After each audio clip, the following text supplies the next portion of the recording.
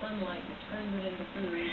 That's strange that, uh, that to us. To others, there's nothing particularly peculiar to this one. I'd say the strangest things in outer space are human beings. We're definitely unusual. Will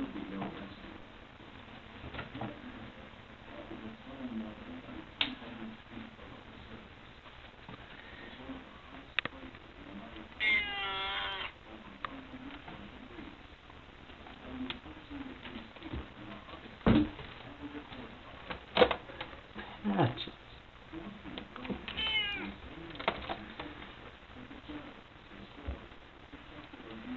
What you doing?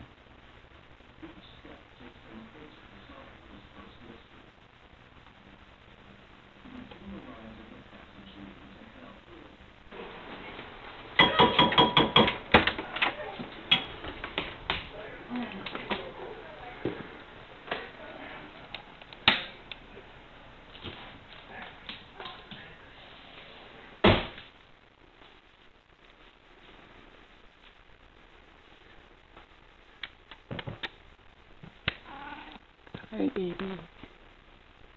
Hi. How's my girl?